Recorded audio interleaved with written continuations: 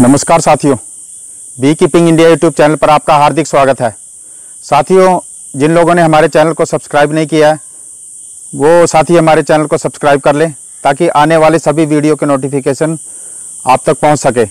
और आप हमारे जो एजुकेशन के वीडियो हैं, जिसमें हम मधुमक्खी पालन के बारे में विस्तार से आपको बताते हैं कि क्या करना चाहिए, क्या नहीं करना चाहिए। तो उन वीडियोस को आप आसानी से देख सकें, इसके लिए हमारे चैनल को सब्सक्राइब कर लें।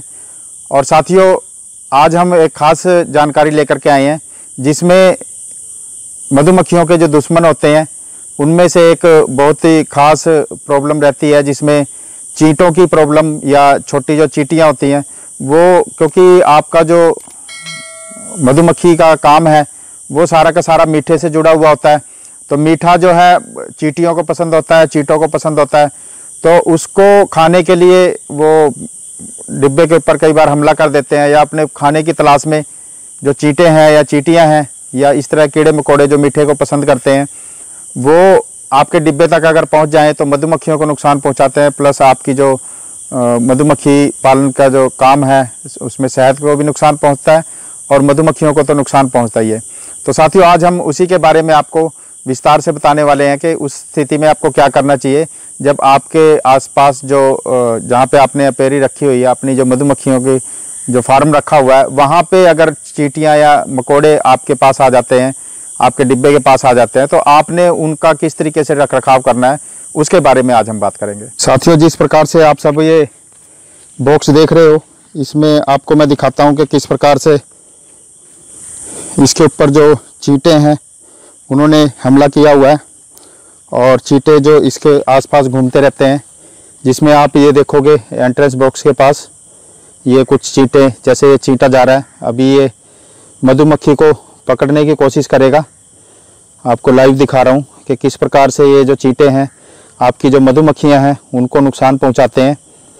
वो चीज़ आपको दिखा रहा हूँ। तो इसके चारों तरफ़ जो चीटे हैं, वो इसके ऊपर चढ़ते रहते हैं और जैसे ही मधुमक्खी के पास आते हैं वो उसको पकड़ लेते हैं और इसका जो मधुमक्खियों को खाने की कोशिश करते हैं, क्योंकि इनके भोजन के रूप में इसका इस्तेमाल होता है।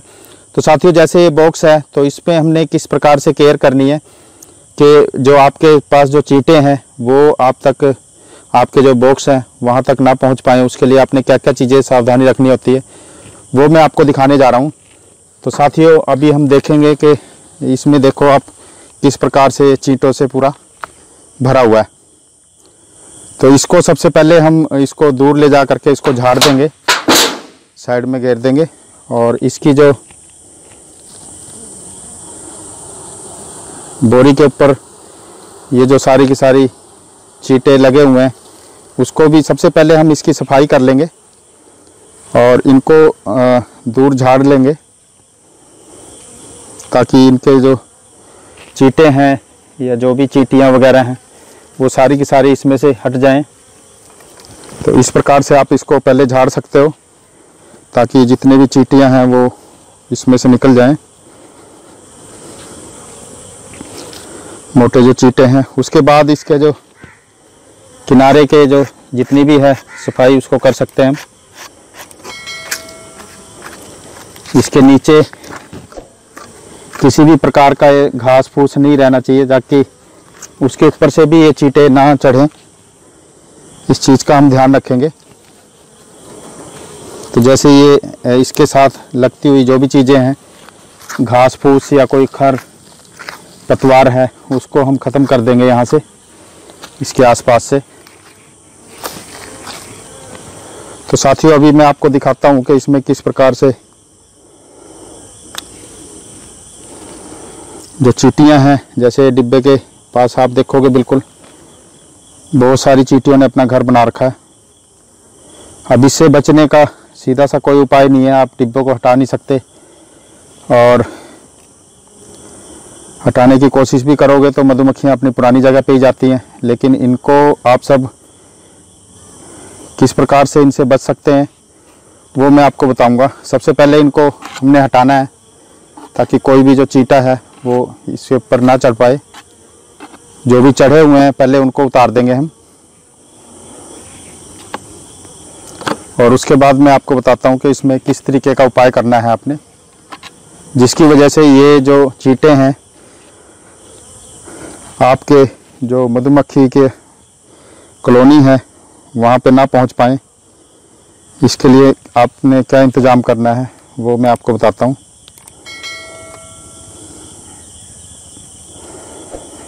साथियों,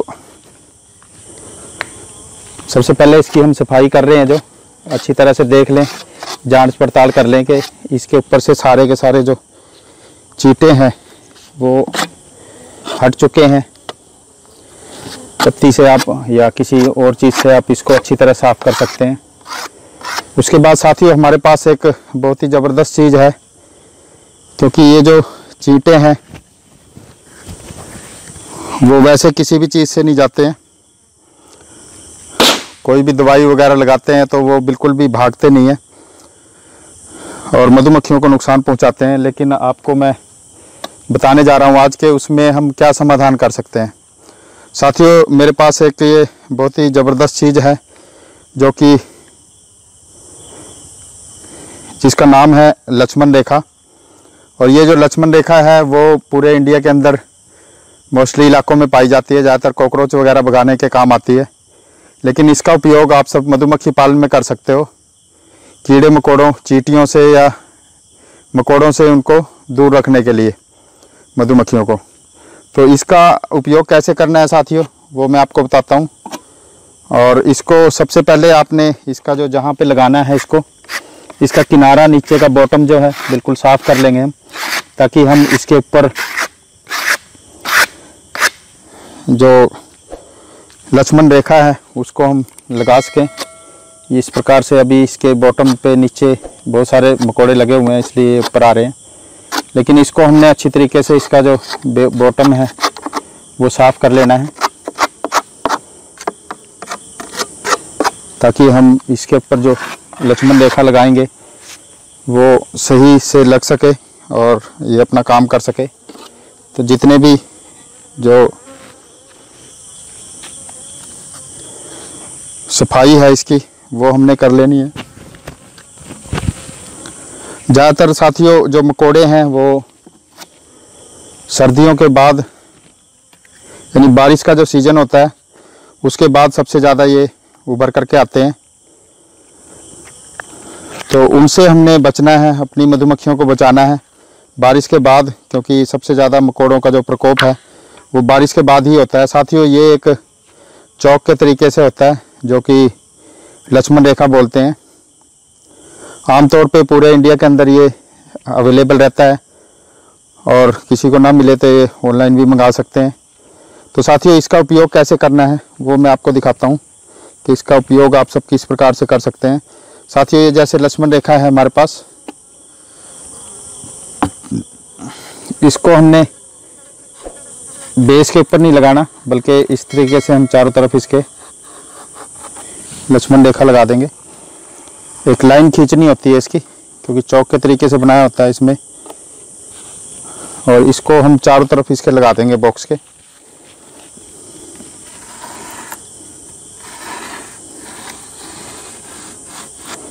इसके ऊपर एक पॉलीथीन लगा होता है, उसको भी हमने उतार देना है, ताकि ये अच्छी प्रकार से लग सके इसके ऊपर।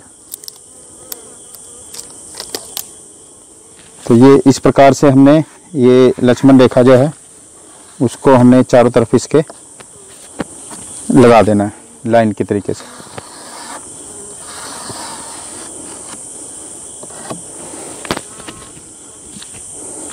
तो इस प्रकार से मैंने चारों तरफ़ इसके लक्ष्मण रेखा लगा दी है। जहाँ से भी इसके एंट्रेंस की संभावना होती है, उस जगह को हमने इसको कवर कर देना होता है।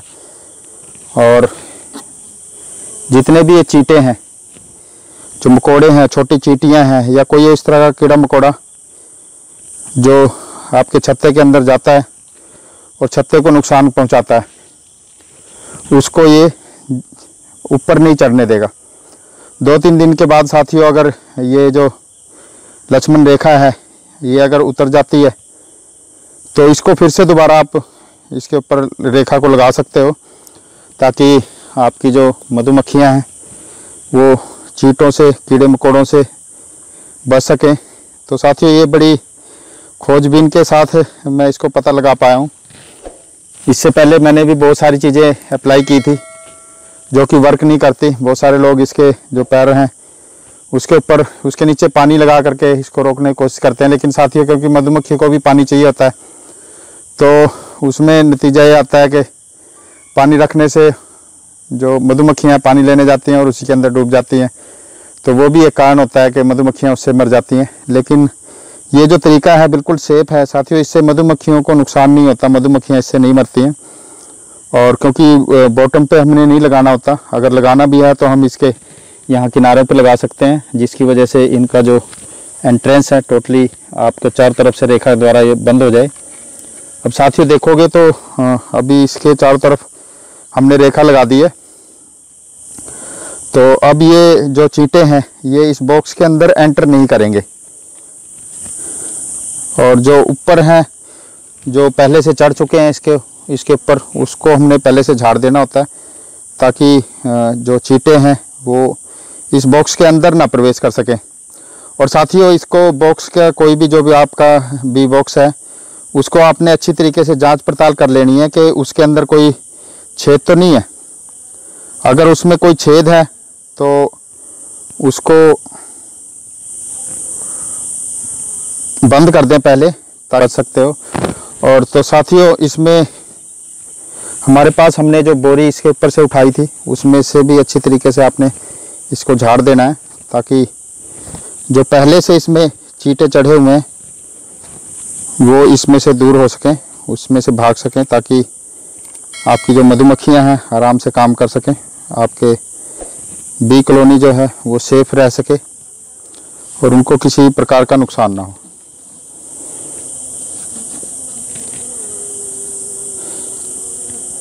तो साथियों, इस प्रकार से मैंने इसमें से पूरा झाड़ दिया चीटों को या चीटियों को।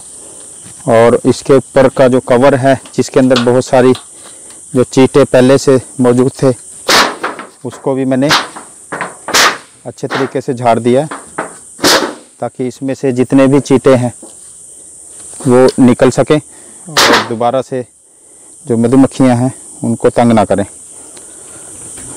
तो साथियों ये आ, मैंने इसके ऊपर कवर लगा दिया है चीटों को निकाल करके। तो इस प्रकार से साथियों आप सब अपनी मधुमक्खियों की अच्छे से देखभाल कर सकते हो।